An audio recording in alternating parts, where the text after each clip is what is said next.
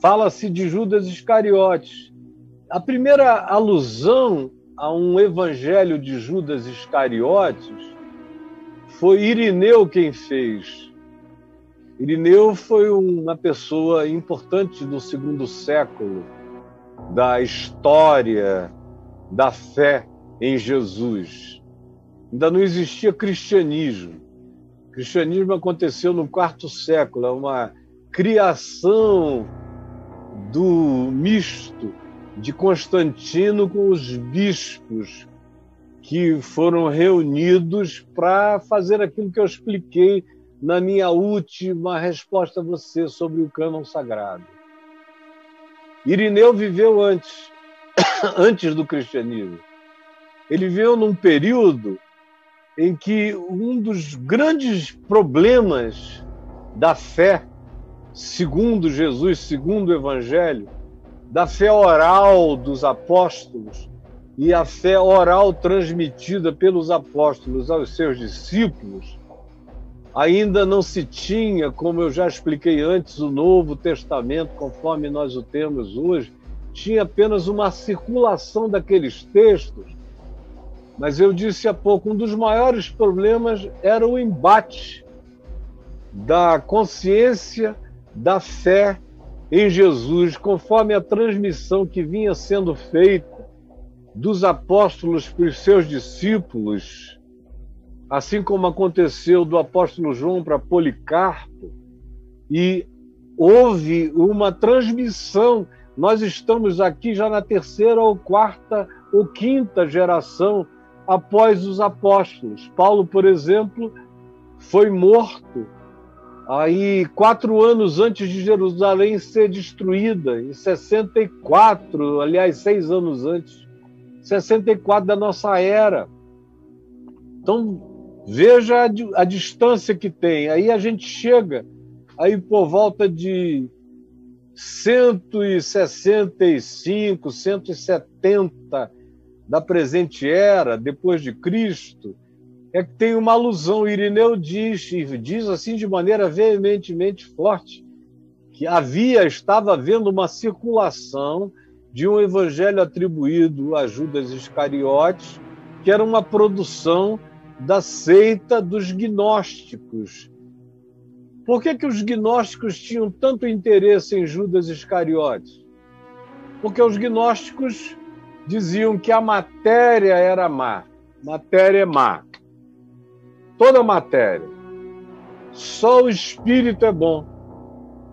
Então, quando Judas Iscariotes assumiu o papel de alguém que iria trair a Jesus, a pedido de Jesus, ele iria trair a Jesus, ele iria libertar Jesus da própria matéria e deixar o espírito de Jesus livre. De modo que para essa seita dos gnósticos, era importantíssima a dissociação, a dicotomia entre corpo de um lado, espírito do, do outro, matéria de um lado, espiritualidade de outro. Então, nesse sentido, eles escreveram, porque não foi Judas, Judas se suicidou e não escreveu o evangelho. Tem nada a ver com Judas, e nem tinha discípulos. Os discípulos de Judas são os gnósticos. E eles já começam a se manifestar dessa maneira depois de um tempo. Eles começam, a gente já vê cartas de Paulo mencionando esse conflito. Carta aos Colossenses, isso está bem definido. Em algum no Apocalipse, naquelas cartas igrejas do Apocalipse, você tem seitas de natureza gnóstica, faziam dicotomia entre o que o corpo fazia e os feitos do espírito. Tudo que eu fazia só com o corpo não tinha consequência do espírito. Aqueles nicolaítas lá do Apocalipse mencionados lá são uma seita que diziam isso, era uma seita gnóstica, que você podia se entregar, por exemplo, à prostituição deliberada, o adultério contínuo, a infidelidade, a traição. Se fosse só física e não fosse nada do ponto de vista da elaboração mental, espiritual, uma distinção difícil de fazer, eles diziam, diziam, todavia, que não havia consequências. Então, a primeira alusão é no meio do segundo século. Aí, por volta do terceiro para o quarto século, 270 até 340, houve uma recirculação do texto que hoje está aqui, em posse do National Geographic.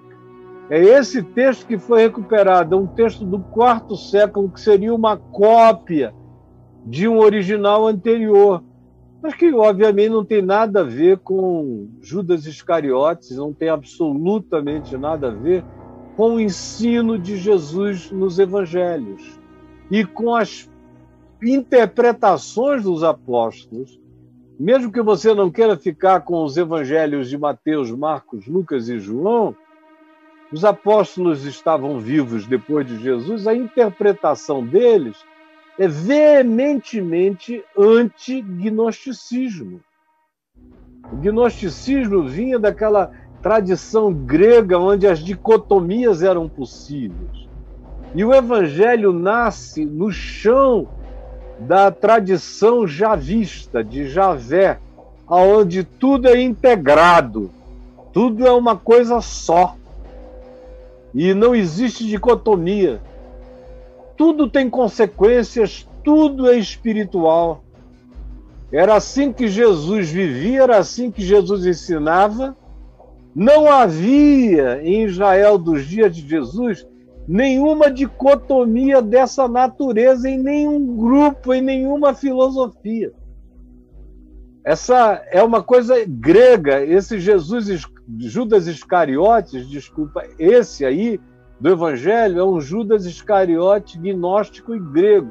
É uma construção grega, não tem nada a ver com o javismo da construção da cultura da, do pensamento, do entendimento daqueles que eram os contemporâneos de Jesus e que vieram a continuar no processo histórico. Então, você falar em Pedro, falar com João sobre essa filosofia de que o que você faz com o corpo não afeta o espírito e o que você faz com, com o espírito supostamente como se você conseguisse desencarnar por instantes, mas os gnósticos diziam que era a procura da sabedoria transcendente que dava a você a condição de fizesse o que fizesse com o corpo não ter implicações na busca e não ter nenhuma consequência no significado da sua espiritualidade, o que para qualquer cristão do primeiro século era uma loucura absoluta, a menos que ele tivesse se entregue à filosofia grega dos gnósticos. Então, a primeira explicação é essa. Agora, o que dizia esse evangelho? Esse evangelho dizia que Judas bota na boca de Jesus uma frase que diz: Tu serás o maior de todos, serás maior do que todos os outros porque tu és aquele que salvas o teu companheiro. E aí então tem essa história de que Jesus teria pedido a Judas para traí-lo, para salvá-lo do corpo dele. E aí existe a construção do Jesus paralelo, muito parecido com o que ensina o islamismo, em relação ao fato de que teria sido uma outra pessoa, um substituto que teria morrido. No lugar de Judas, inclusive, atribuir-se atribuir-se-ia aquele, aquela morte por enforcamento aos atos de uma outra pessoa. O próprio Judas era o grande herói do texto por ter livrado a Jesus do seu corpo agônico e ter dado a ele a libertação do seu espírito. E Jesus, nesse evangelho de Judas, é um grande manipulador, um manipulador de profecias, ele diz: Olha, nós também fazendo assim vamos cumprir as profecias. Então, as profecias no entorno da morte de Jesus seriam todas de natureza fabricada, artificializada. Judas, o grande indivíduo, o grande apóstolo, com a informação secreta que os outros não tinham, montando o cenário que os outros desconheciam. Era Judas o tempo todo fabricando o processo. E depois a, a consequência da cruz era a libertação para o pobre Jesus. O que o texto do Evangelho de Judas Iscariotes, atribuído a Judas Iscariotes, eu tenho uma leitura de Judas Iscariotes muito mais generosa, sem precisar do Jesus mentiroso, desse Judas fabuloso, o Judas dos quatro evangelhos. E eu sugeriria que vocês escrevessem Judas Iscariotes e que o Jeff também escrevesse Judas Iscariotes no portal Caio Fábio ou no canal do YouTube Judas Iscariotes no portal vocês vão encontrar textos e também vídeos sobre Judas Iscariotes, como o Braulio tem pronto aí na mão. São quantas alusões, Braulio? 280, 284. 284, 16 páginas. Você podia subir o rolo Aqui, aí para eu já subi. dar uma olhada? DNA da salvação, não, isso aí não é. Evangelho de Judas Iscariotes, 1 e 2. Judas como guia para a morte. E aí podia subir só um pouquinho, porque entrou Judá. E aí misturou Judas e os pobres e a ONG de Jesus. Aí entrou judeu, mas tá ali. Judas, o irmão, é outro, é outro Judas. Podia rolar, por favor? Mais uma. Só para eu dar uma lidinha aqui. Mais um pouco. Eu não estou conseguindo. Ainda está na mesma página para mim, Braulio. Você tem que subir agora para entrar nos vídeos. Tá aí. Tá aí, ó. Aí tem Judas, o Judas que existe dentro de nós, os homens Judas, os homens Judas, tudo por causa de Judas. Aí vai, por favor, subindo com gratidão, eu fico. Aí, vamos lá, botou Judia, já apareceu é, qual o seu espírito no caminho, Judas ou Maria? Judas foi salvo, pois que se arrependeu e se suicidou. A diferença entre o discípulo e o seguidor oculto é outra história. Mais uma rolada, por favor, Brolito. Tá é, quem quiser me.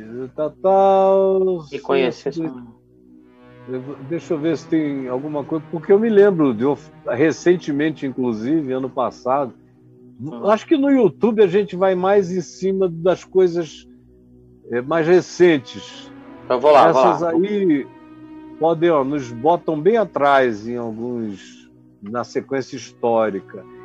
Então, o, Judas Iscariotes do texto do Evangelho de Judas é uma construção do princípio ao fim, não tem absolutamente nada a ver, nem de longe, com a pessoa histórica de Judas, que não está precisando de ajuda gnóstica nenhuma para ser visto como ser humano.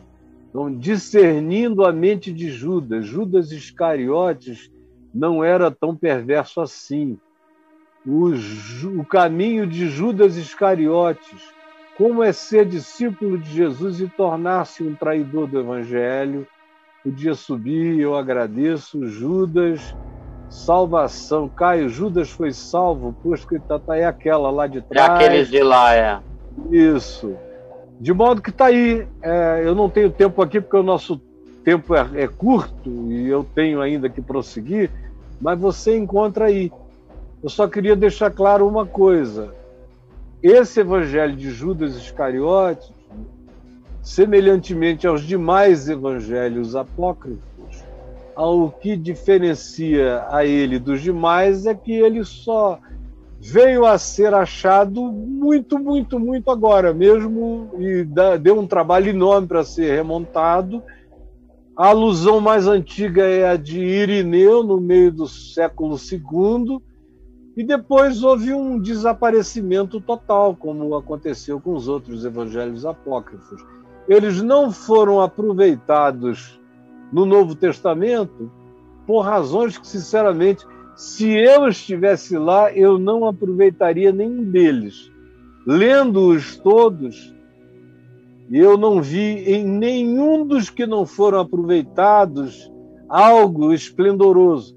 Nesse de Judas, inclusive, o princípio praticado é totalmente contrário ao ensino de Jesus. Jesus não era, era contra a competição, a medição, quem é o maior. Aí, de repente, aparece esse Jesus de Judas Iscariotes, esse Jesus gnóstico, dizendo: Tu vais ser o maior deles todos, tu vais suplantá-lo pelo que tu vais fazer Tu vais ser aquele que salva o teu companheiro, sacrificando a tua própria vida. Era tudo que Jesus não faria. Enviar alguém para uma mentira dessa construção deliberada, na farsa dessas profecias, salvando o pobre Jesus da matéria do seu corpo, sendo que ele é aquele que ressuscita ressuscita mortos. Se Jesus tivesse um pingo de gnosticismo dentro dele, ele não curaria ninguém. Deixaria todo mundo morrer mais rápido. Não ressuscitaria morto algum.